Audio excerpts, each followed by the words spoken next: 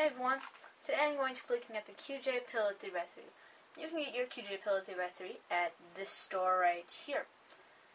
So, yeah, let's just get on with it. Alright, let's check out the box that came with the cube. You basically just have a blank white box, but you have this little opening to get a cool sneak peek of the cube. So when you open the box, you get the QJ Pillow 3x3. Yay! It can spin clockwise and counterclockwise. Either way, it works. Alright, so speed of this cube is very smooth and it's very, very quick. You can do a lot of good finger tricks with this with ease. You can do some good permutations on this.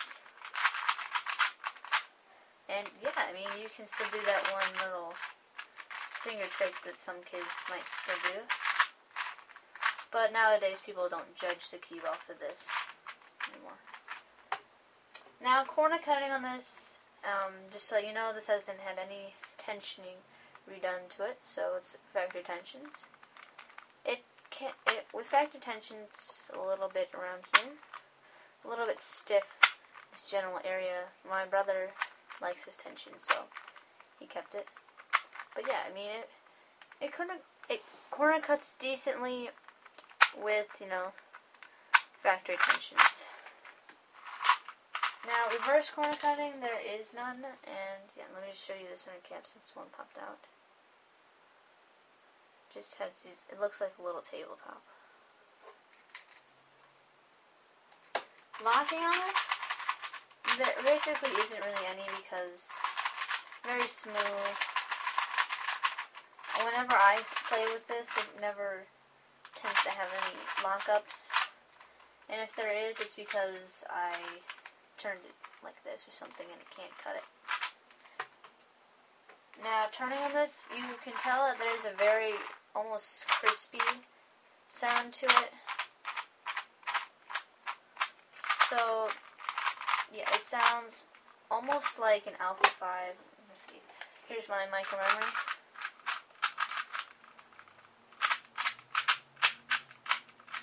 Gonna get that crispy noise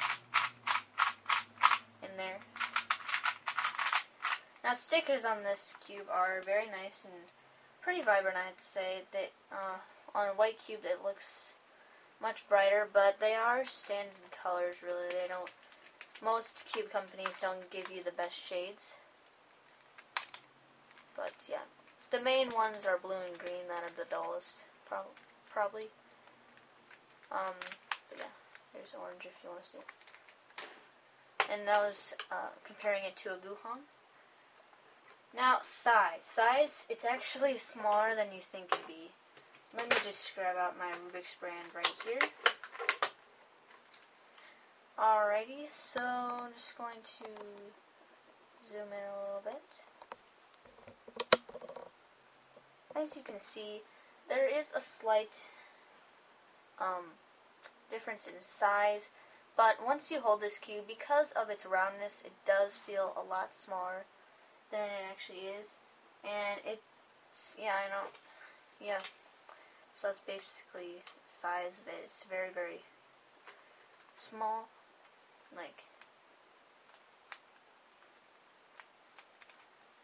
my camera will focus, doesn't like to focus.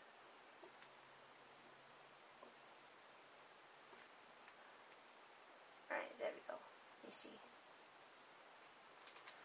But yeah. Me just zoom out. Okay. Compared to other cubes, this one, I would say it's a little... Um, I guess it'd be more of a good one-handed cube, I guess. You can... It's not the smallest like a micro memory, but you can do some good tricks with this and stuff. I can get my hands around it easily. It's probably about the same size as a Mini Type C, I think. I'm not entirely sure. But if you're going to be, you know, a main speed cuber and you like round cubes, I mean, this isn't really going to be the absolute the best because of its size. It doesn't really have good corner cutting ability and doesn't reverse corner cut Alright, so I'm going to do a quick solve with this, and I'll compare that solve with some other singles that I've done. So yeah. Okay.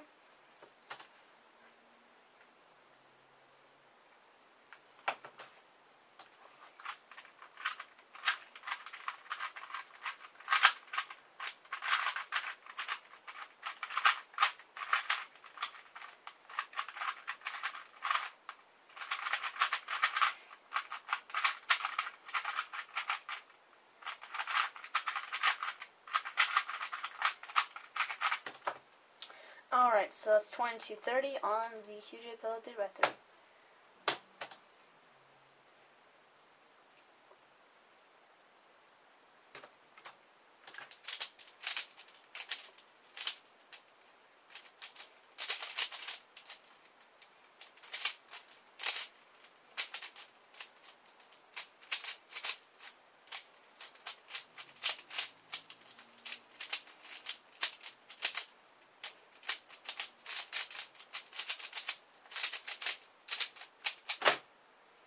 Twenty-three fifty-seven. I uh, one, two, three.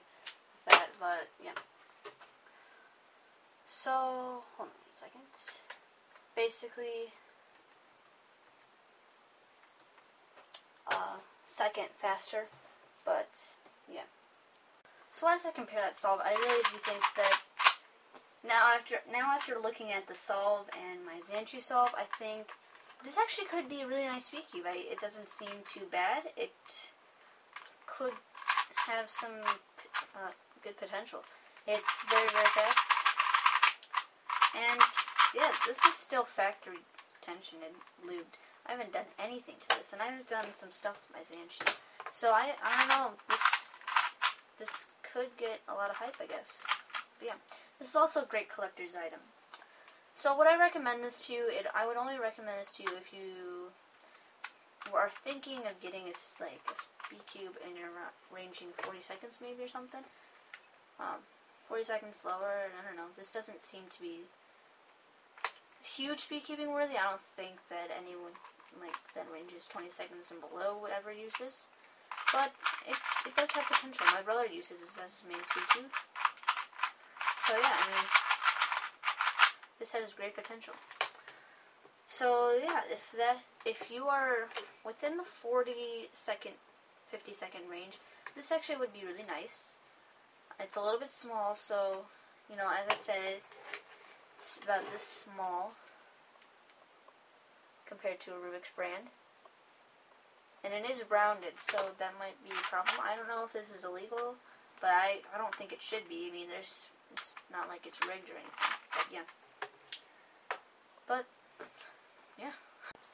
So overall, should you get the QJ Pillow 3x3? It's a great collector's item because of its roundness, and it also has potential to be a really good speed cube. I'm not entirely sure if this is legal in competitions. Uh, I don't think it should be because it's just a pillow. Mean, it's not that big of a deal. But, yeah. That is my review and opinion on the QJ Pillow 3x3. Want more reviews? You can hit this button right here. You can check out my channel below that. And my last video will be in the top right corner. So yeah, if you like this video, hit the thumbs up button. Also, you can even favorite this video if you'd like. And always subscribe. So thanks so much for watching this. Bye.